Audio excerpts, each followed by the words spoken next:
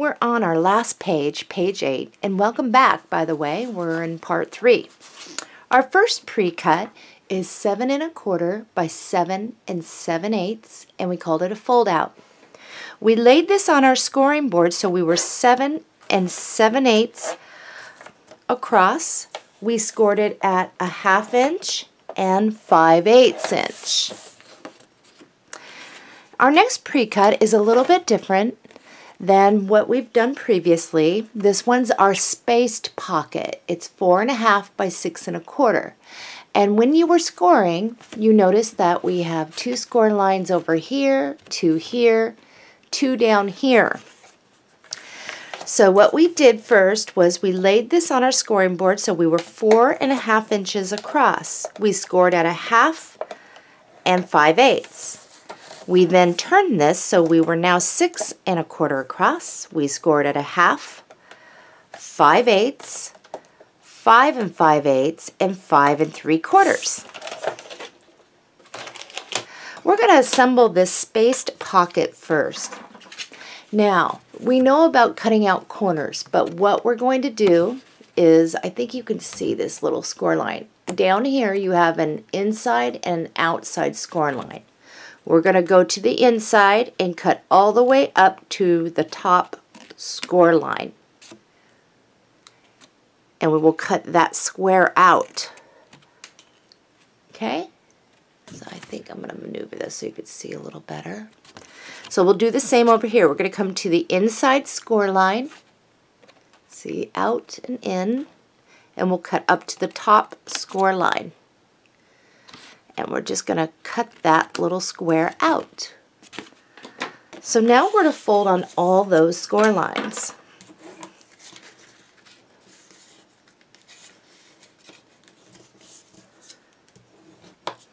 And this creates more room in these pockets. It's spaced out.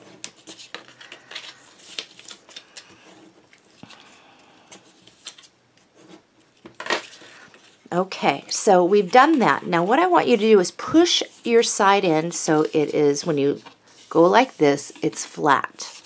We're going to do that over here too. And what we're going to do is we're going to bring up the bottom. And your bottom should line up with the side of your fold-in over here. So it's the same same um, idea. It's just we've got some spacing in there. So I'll do one at a time. So I've got this one lined up with the side over here. And then this one's going to line up with the side. And just make sure you bring up that bottom when you're doing it so it lays flat. So if you lay it down, it might be a little bit easier for you to make sure you've got that flat on the bottom. Okay, we're going to set that off to the side. We're going to get into our main decorative page. In your paper pack, you will find this print. On the back, it's the seashells.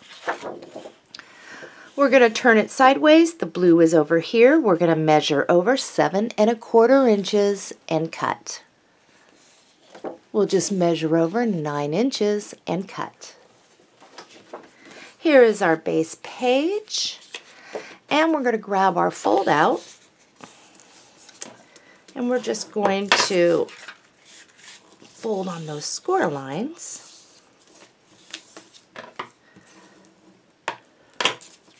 and we're going to attach it.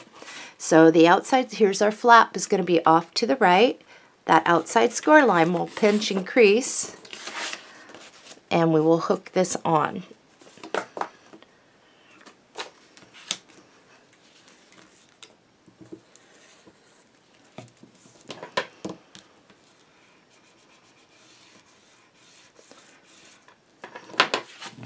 Now we're going to push back and we're going to place some magnets. We have one set of magnets left. And what we're going to do is we are going to start with placing this one.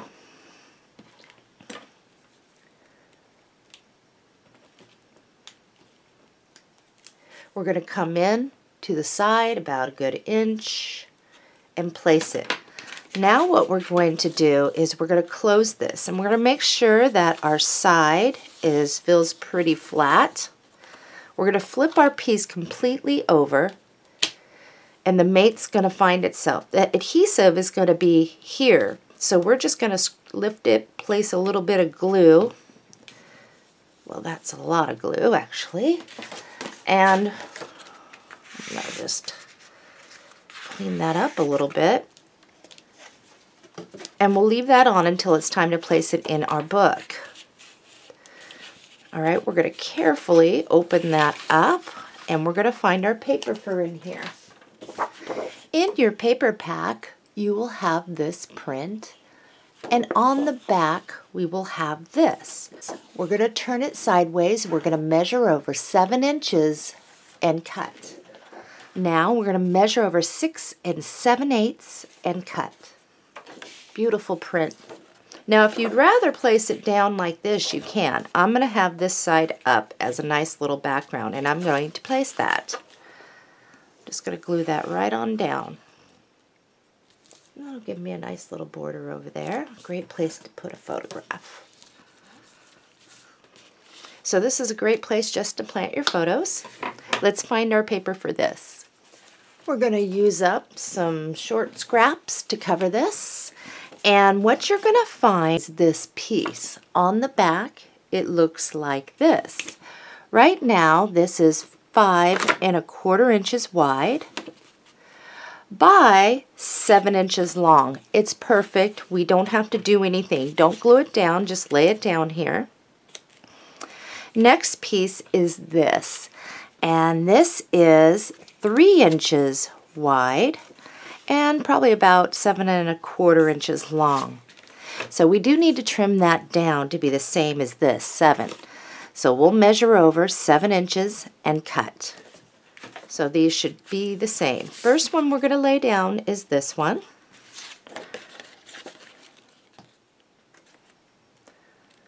And we'll just center that, leave yourself a brown border. And then the other one we're going to glue down to the top of this. Now if you'd rather go like this you can, but I found that this looks like it matches up pretty good. And we will place that and match it up with that one. Okay, oop, I have some adhesive from the book on that. There we go. Let's get our spaced pocket. It goes right here.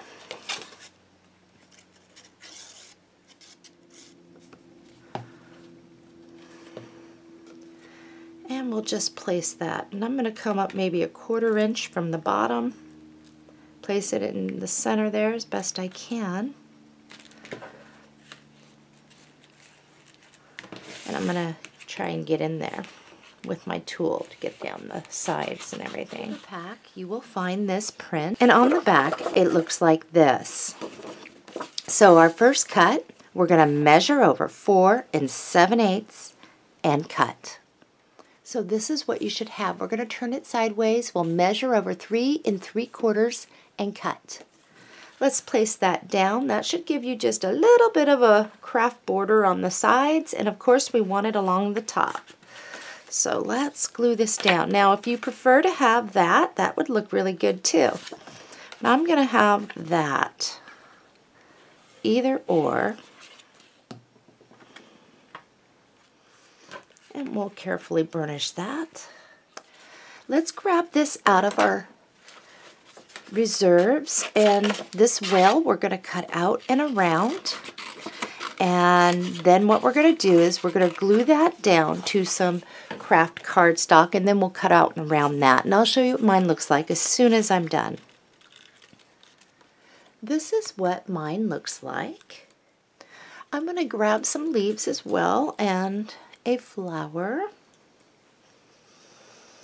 and I have cut a piece of jute uh, twine, whatever you want to call it. And the first thing I'm going to do is I'm just going to glue a strip that fits side to side right across the bottom here. Just for something different. You don't have to.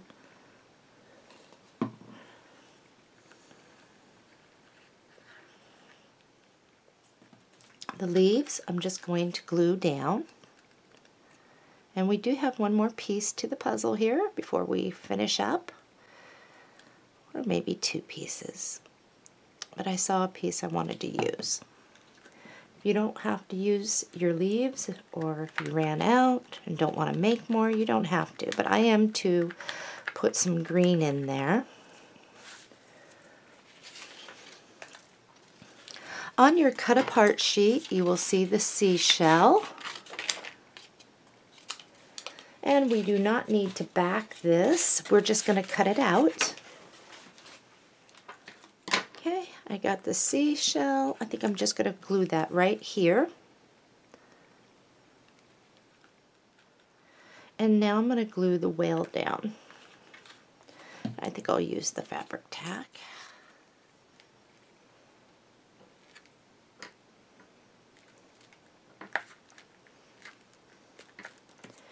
And the flower I'm going to stick right there. Oh, I should have used my other glue. That's okay. I think that looks pretty good. I hope you like it too. Adds a little something. You know, I might add something else here really quick. And I think I'm going to add another piece of that jute right across here. So I think I'm going to do that really quick. And there's just enough room to bring it down low enough.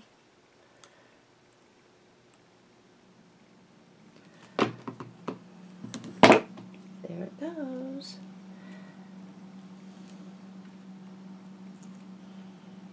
And everything's got to dry.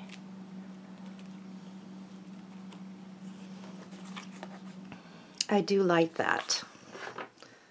And here's a little piece. I have a scrap. I'll just knot that a little bit. And I think I'll just glue that right on down. So this is going to take a moment to dry for sure. I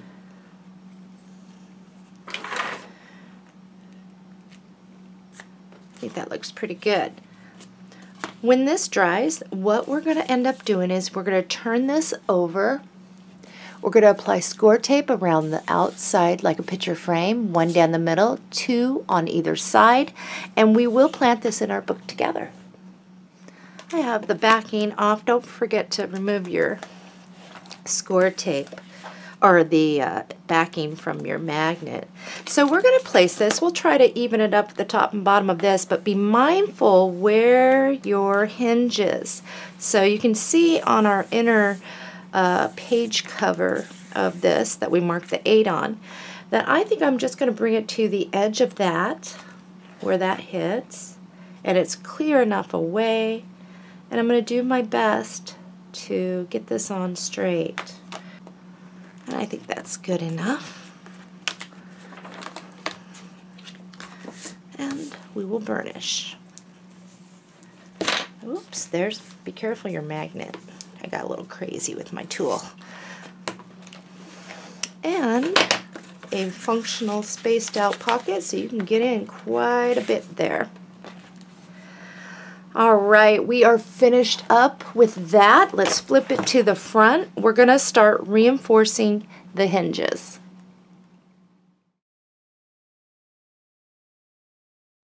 In your reserves, you will find this piece. It is 12 inches long and six and a half inches wide. And the first thing we're going to do is turn it sideways. We're going to measure over 7 and 7 eighths and cut. This piece over here, go ahead and just set that to the side in case we need that. And I'm just going to flip it around where my border is brown over this way. What we're going what we're going to do is we're going to cut four half inch strips. So measure over half inch cut, measure over again, keep going until you have four half inch strips. So you have these, and actually if you turn them over, it's going to give us a little bit of a pattern. So with this piece, what I want you to do This is what we were cutting on. What I'd like you to do is measure over 3 eighths and cut, measure over again 3 eighths and cut. We may need those. So these two 3 8 strips I want you to set aside. The ones that we want to work with right now are the half inch. And if you notice, here is your hinge, and then here's the hinge over here. You can use the white if you'd like, or you can use with the colored side. It is up to you. I'm going to use where I have just a little bit of color on here facing up. But this would look good too. So what's going to happen is when we're done, you can lay all these down. So you can see it like this, or you can have just a little bit of color. And I'm going to go with the color. We're going to use our glue for this. And before I apply glue, I want to show you something. When you do that, you will notice your book is 8 inches. The idea of this is to lay it down. It will come over the edge of your, your page hinge it's going to fit right in between, not on this hinge, but it's going to fit right in between.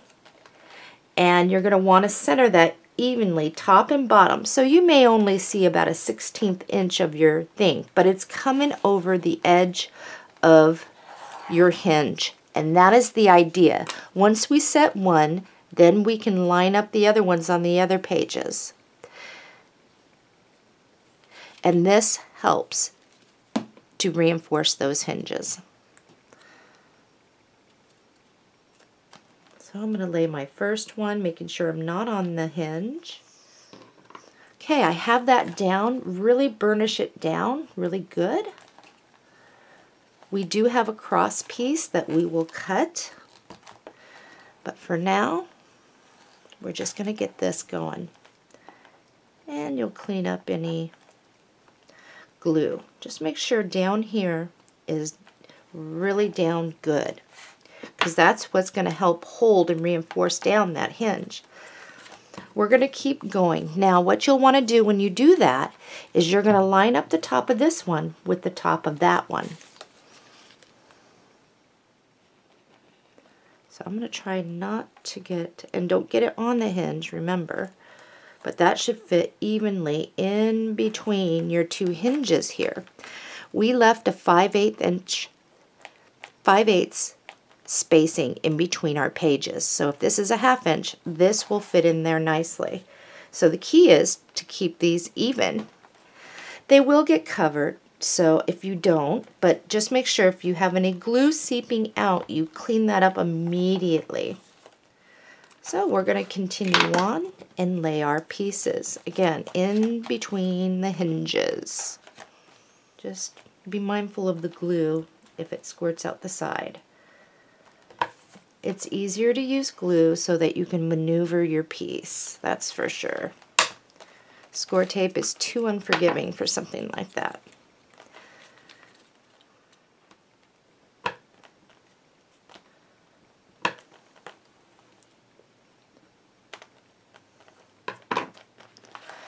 Now, what you can do, now these 3 eighths, I wasn't sure if I was going to use them or not, but you can by laying it here. I'm not going to use these uh, for what I was thinking to do, but I can use one of these, and I'll cut it down more. So here's the top, and what I'm going to do is I am going to place this down and you'll want to do the same so that the edge of this matches up with the edge up here. Then what you're going to want to do is just bring it across and try and look to see where that last one lays. And you're going to use your pencil.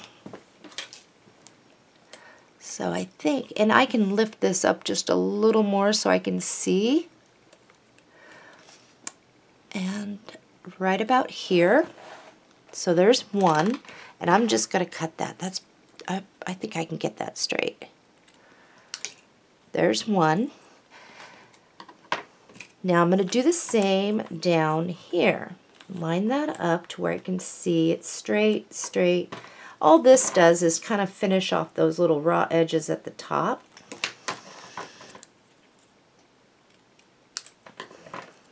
Now, because each one of us, here's my pieces, because each one of us may have laid our pages in maybe a little higher here, maybe a little lower, this is where you are going to lay this down. That's not the right one. Here we go. Lay that down. And you don't want to put it up flush against your bottom of your pages. Leave yourself a little room. And you're going to take your pencil just below the top, uh, the bottom of your page, your chipboard, make your pencil mark.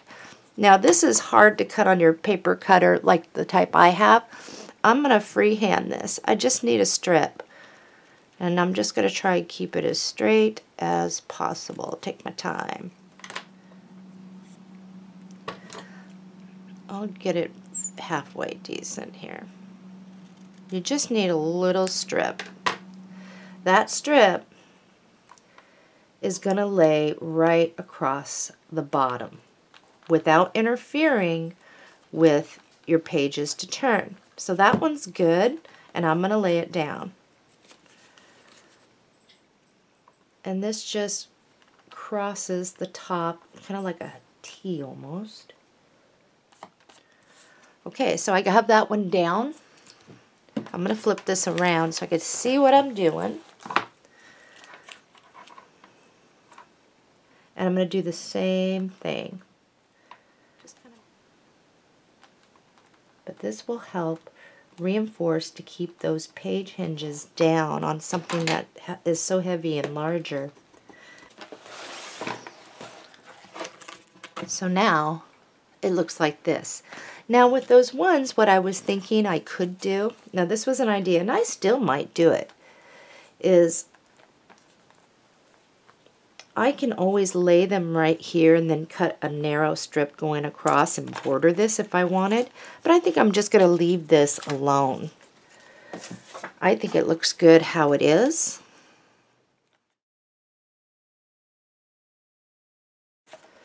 All right, we finished up. Let's grab for our Dritz. And the piece that we needed was the hook.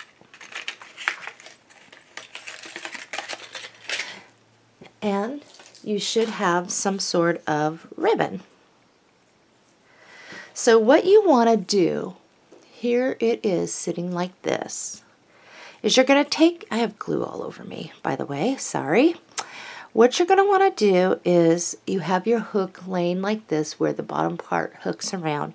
You're going to feed it up through the little eye there and down through the other side. Now the only thing I can tell you about the, the Dritz is that sometimes they do not close off these little prongs all the way. If you want to get some pliers out, you can. Most time I just leave it alone unless it's like a big gap. So I'm just pulling these now to where they are even, even tails. So the best way to do this is after you get all your picture mats in there.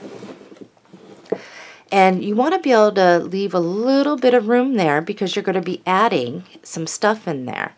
You don't want to cinch it right now because you'll never be able to get your what you need in there. And I left just enough space in here for our stuff. So I have it hooked. And for me, I'm just going to come straight out from the side. So I have this sitting here. And I'm wrapping it around to here. You may want to grab your little binder clips at this point. And I'm going to grab one of mine. So once you can see, I have that right around. And there's still some slack. Okay, I'm checking. I still have room in here. And that's not too tight. So I have it like this. Now hot glue helps. You just got to be very careful. I'm going to use the Fabri-Tac and then I'm going to use some binder clips. So I have it here and what I can do is unhook it now. Make my life a little easier. And I'm just going to peel back a little and I'm going to apply some of this underneath to get this started. I have another layer here. I'm going to peel back. Just take your time. And I'm going to get underneath.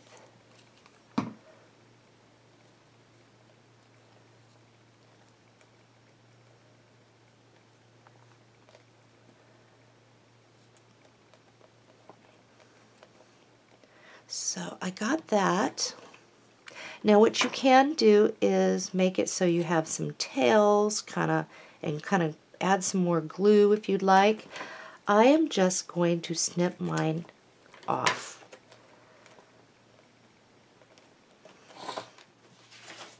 On our, on our cut apart sheet, we have some beautiful roses here that would cover that up perfectly. And that's what I'm going to do. And I'm just going to cut out and around this. And I don't think I'm going to back this. I think it'll be fine because the whole thing gets glued down over the ribbon.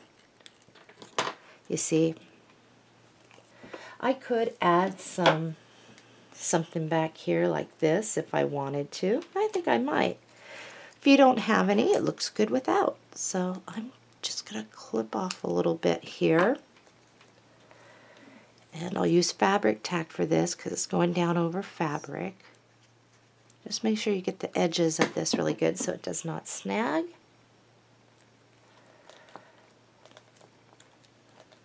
And it'll stay nice and flat. Unless you want to put a, um, perhaps you just, you want to use a regular one. I hope you've enjoyed this tutorial. There will be more to come in the future as I start getting down to designing more stuff, folios, albums. And I have another paper in mind to use for my next project. Happy crafting, everybody. Have a wonderful week.